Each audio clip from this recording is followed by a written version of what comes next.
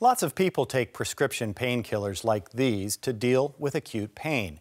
But abuse of these opioids is killing Nebraskans. We'll talk about that next on Speaking of Nebraska.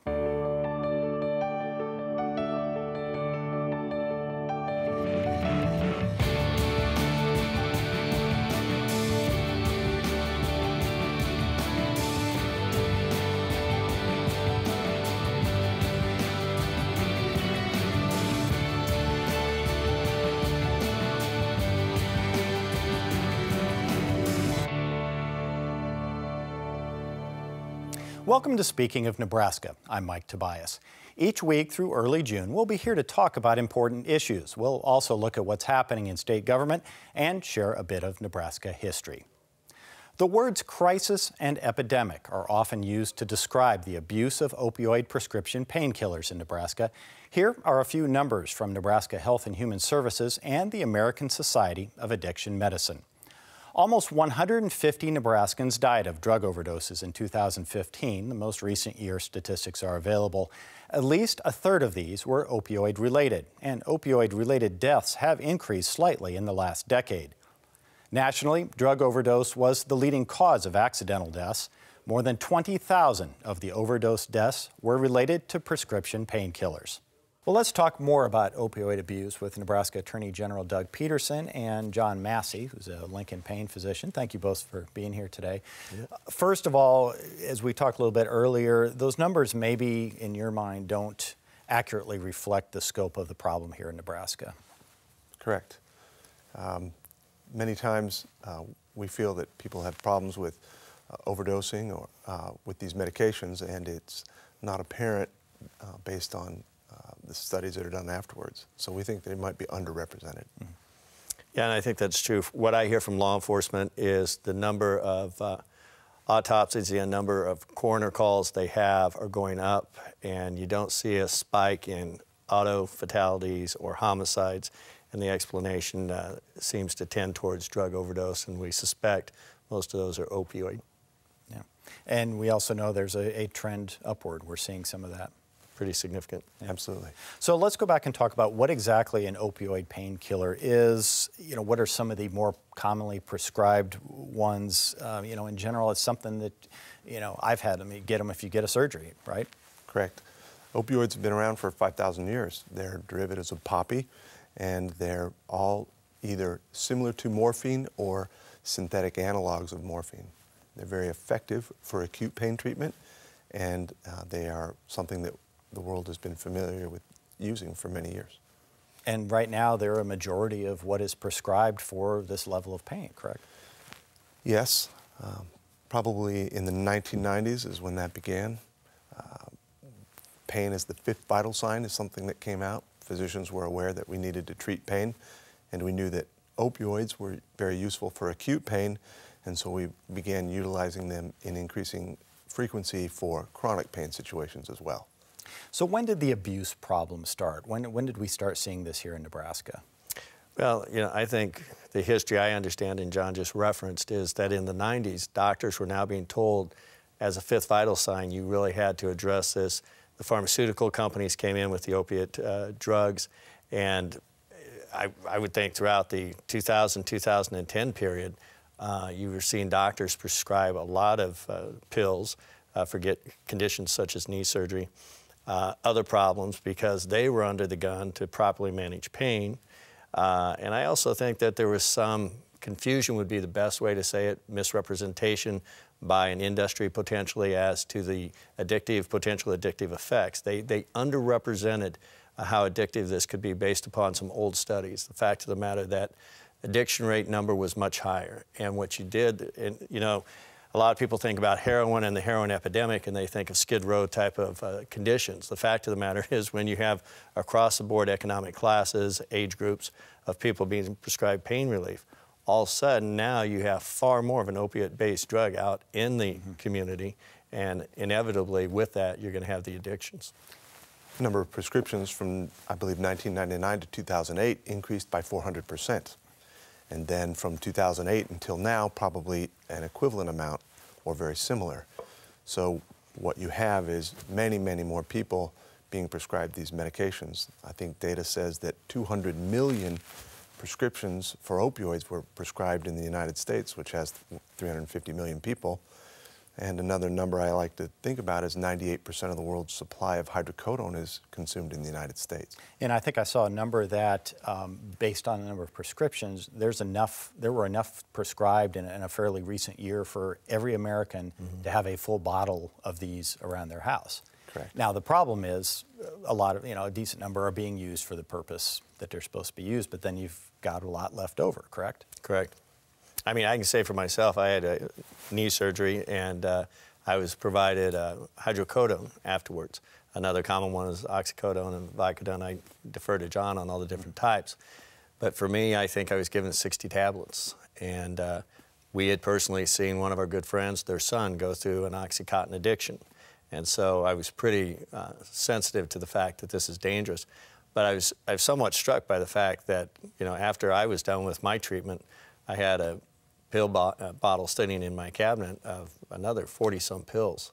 And uh, not having a very good awareness, but for what we'd seen our friends go through, not having awareness of really how dangerous that is. Yeah.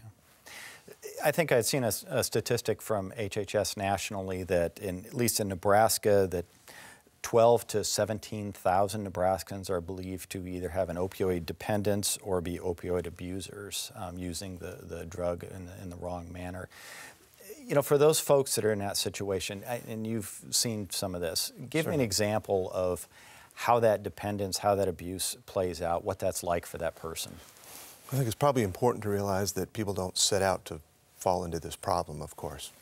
People um, have a risk associated with the likelihood of developing this problem that's largely genetic. And there's a lot of different numbers out there, but somewhere between 12 and 24 percent of people who start with a medication for fully legitimate purposes are at risk of developing a problem with these medications going forward if we aren't careful.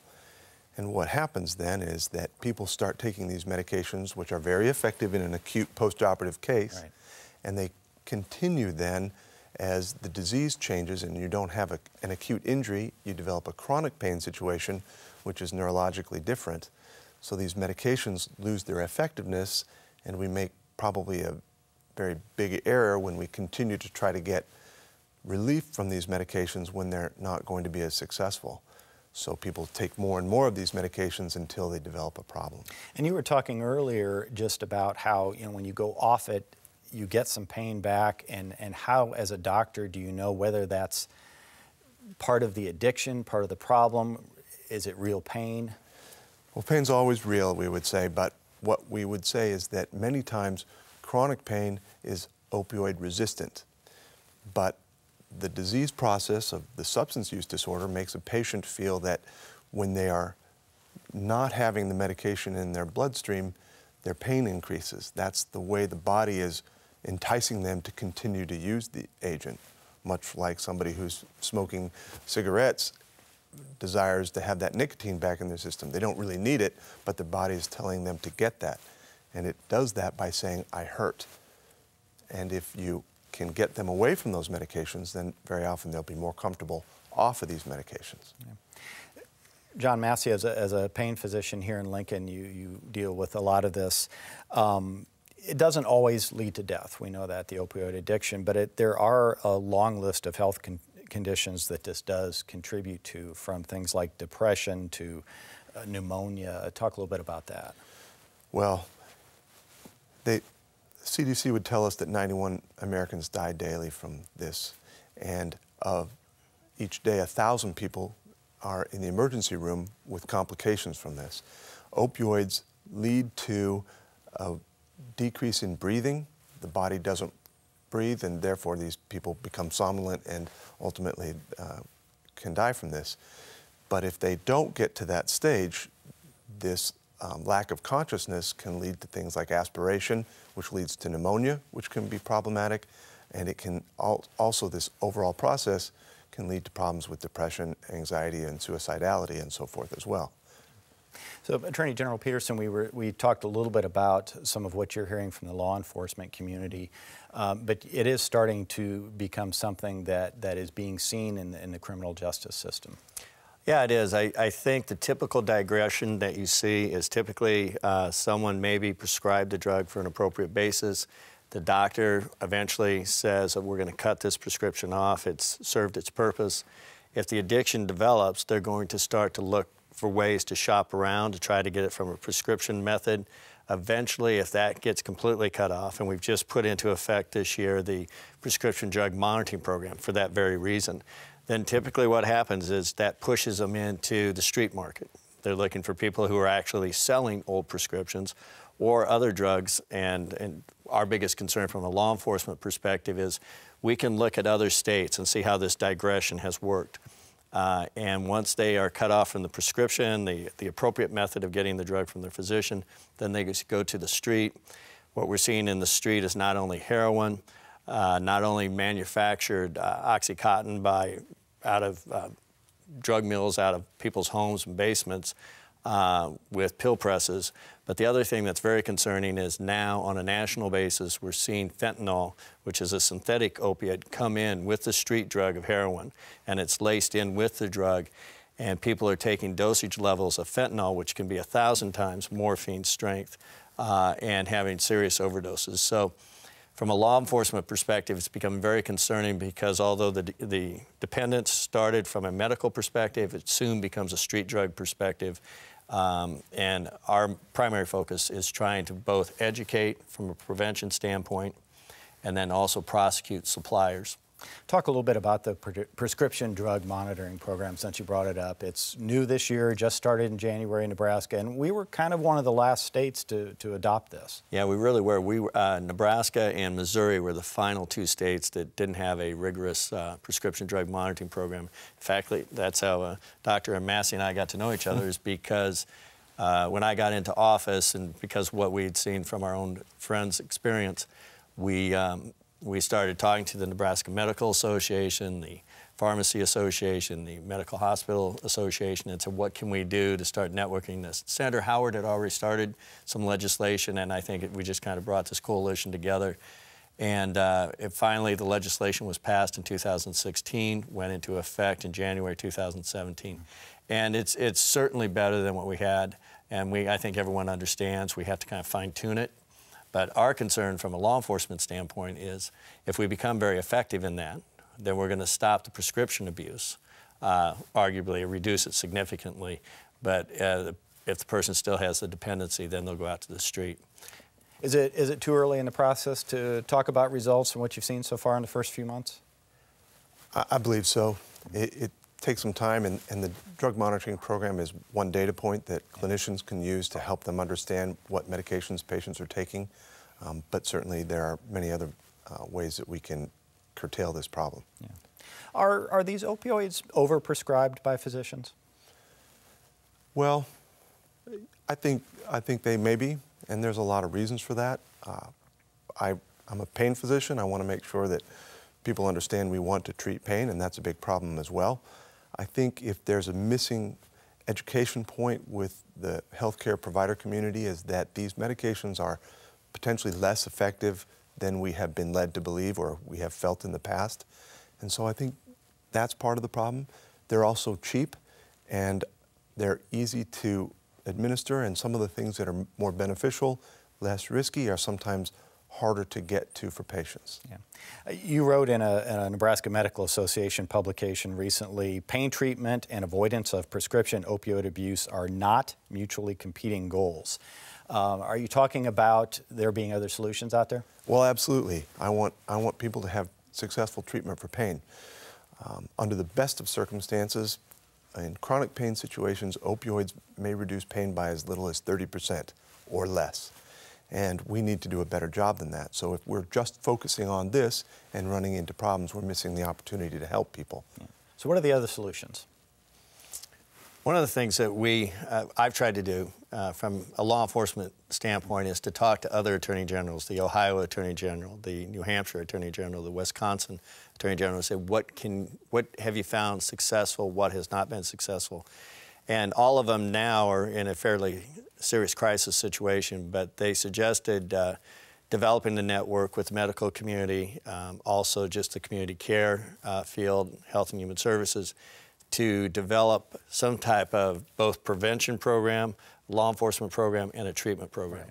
So back in October, we had a, a, symposium at the University Med Center, and uh, now we've, from that symposium back in October, have developed some task force groups working in prevention, and we've started the uh, public service announcements in that regard. That's the dose of reality. That's the dose of reality, which was gifted to us in effect from the uh, Wisconsin Attorney General's mm-hmm. office.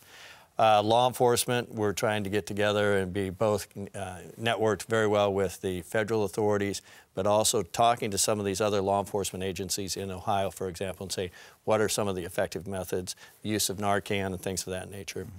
And then treatment. Treatment, I think, is one of the biggest challenges, but I, we just recently had one of the task force meet at the Med Center uh, last month, and I was very encouraged to see what the treatment looked like very encouraged to know that in the medical community. Now at the med centers, they're looking at curriculum, dental schools, pharmacy schools, how to, how to make young doctors, young dentists uh, aware of how to better address uh, the prescribing of these drugs. And I know John and other doctors are meeting to create better standards uh, for the doctors here in Nebraska. So I think we're trying to do the best we can, both in prevention, treatment, and in the law enforcement standpoint. But uh, you know, there's no way to say that we've arrived. I think we're just getting this thing going and trying to be in front of it and to avoid a crisis in Nebraska. That's our ultimate goal. Kind of a philosophical shift in, in the way physicians are looking at pain management? I think so. Uh, new data comes online every day, helps us fine tune our understanding of the risk and benefit ratio of these medications. And also, I think, uh, more in depth understanding of this disease process of pain and what good things are to help people in a more sustainable and less risky way. Yeah. Obviously a controversial solution, but there's some studies out there that would say medical marijuana is one option. Is it? I, I don't believe so.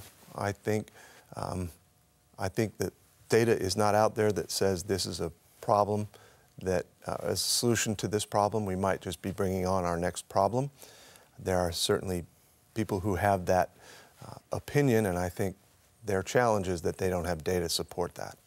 Yeah, I would say to that, Mike, that I think that comes from the industry and the advocates for marijuana. That doesn't come from the medical community. And it's troublesome that they kind of manipulate because they do uh, isolated uh, anecdotal stories, uh, and I don't think that's good medical evidence. So we were, uh, as we were kind of getting ready to, to do this show, talking with a number of, of the folks that are involved in this production, and, and you know, many, like myself, said, you know what, I've got some of those around, or yeah, I have some of those from a surgery a few years ago, or whatever.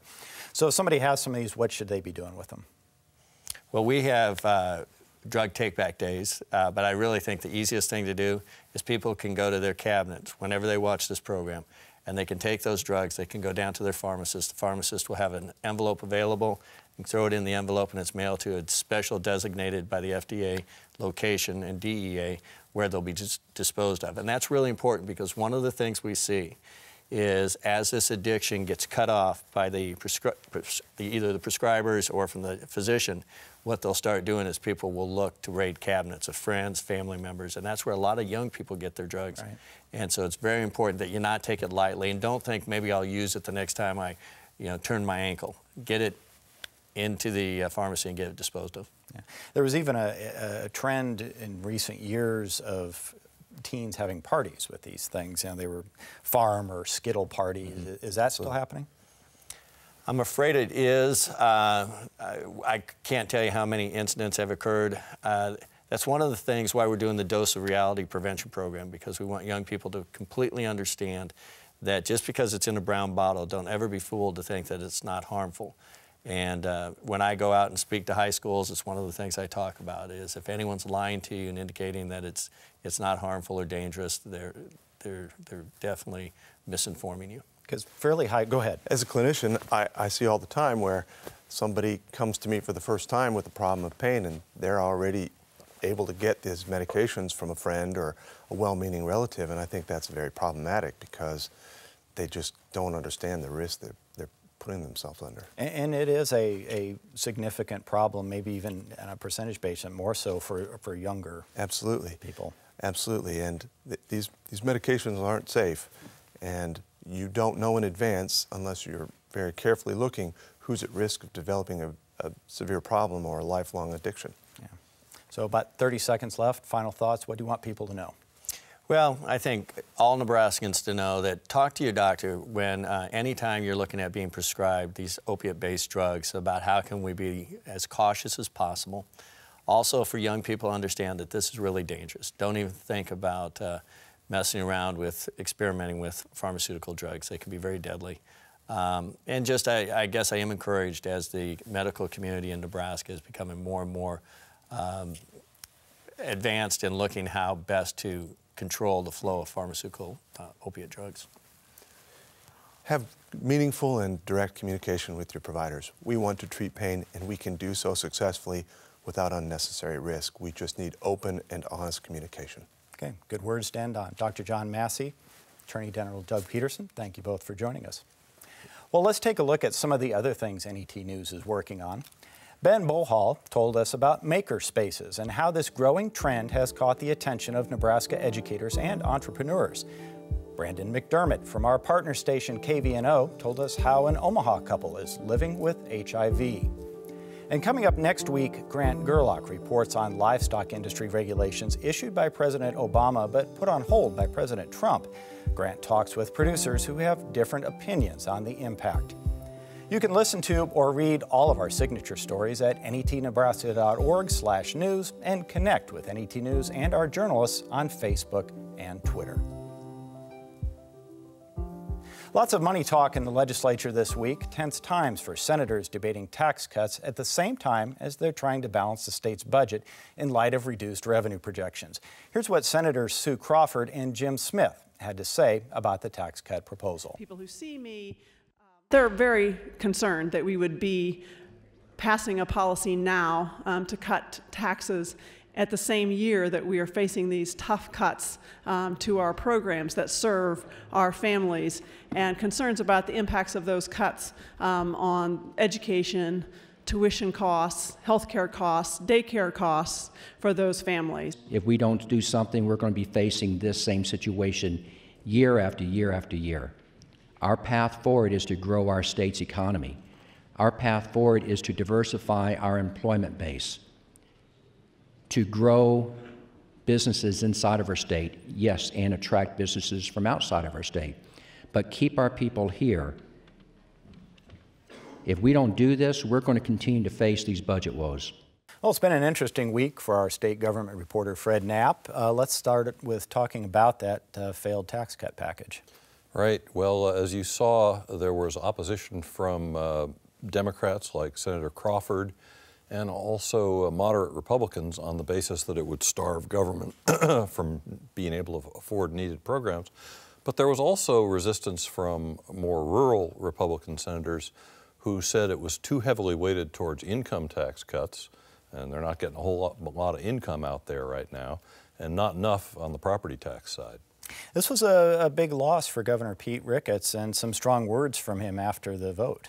Right. Uh, he uh, said that uh, 27 senators had stood up for Nebraska taxpayers and, you know, 22 by implication were against them. Um, and interestingly, uh, there were four uh, Republican senators who are up for reelection either next year or in two years mm. who the governor has shown that he doesn't have hesitation to go against incumbents of his own party. Three uh, that he did not endorse and lost last year, and uh, who knows whether that could happen again. So we may see some political implications on down the road as, as, things play out.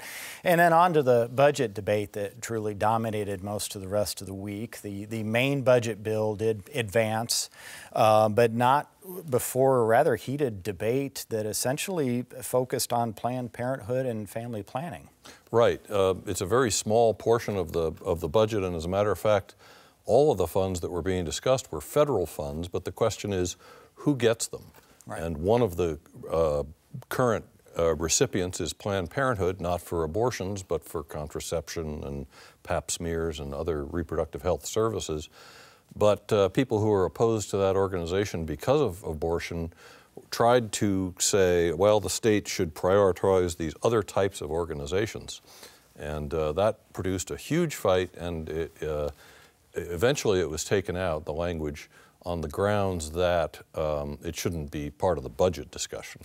So, with the budget that has advanced, it still doesn't quite make up all that is needed to be covered in terms of, of reductions. But there also there was kind of a interesting uh, technique that was used to uh, to do the math there. Talk a little bit about that. Right. The way they closed the gap was uh, to lower the reserve requirement, which I would liken to the minimum balance in your checking account. They lowered it from 3% to 2.5%, and that's worth $43 million right there.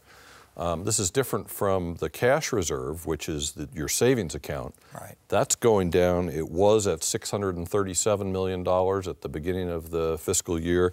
It's going to be go down to 379 million by uh, the end of the current budget, which is about four and a half weeks worth of spending, whereas there's a rule of thumb that you want eight. Right. And that's something, again, the governor was not terribly happy about. No, he said that the uh, senators ought to uh, buckle down and, and do more cuts. And he provided them a, a, list, but it wasn't very popular. It was things like water projects and uh, the University of Nebraska, how much gets paid to Medicaid providers in nursing homes to care for folks, and uh, those were pretty, pretty much viewed as non-starters. There was an education proposal that was stalled in committee. Lawmakers brought it to the floor. It has to do with third grade reading. Talk about this. Right. It's by Senator Lou Ann Linehan. And uh, while the headline of it is that it, she would hold back third graders from being promoted uh, if they didn't pass a proficiency test in reading, there are all sorts of exceptions, including under an amendment she has if the parents say, no, we want the kid to advance.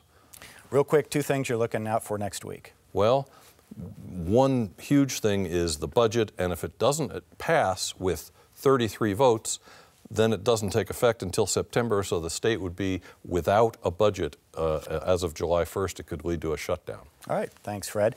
And remember, during the legislative session, follow Fred's state government coverage each afternoon on NET Radio at 545 Central and on our website at netnebraska.org/news.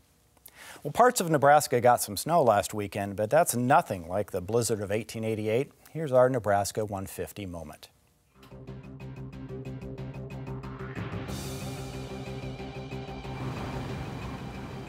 Considered one of the worst blizzards in state history, the school children's storm hit midday on January 12, 1888. Teachers, parents, and children performed acts of heroism to save others trying to get home.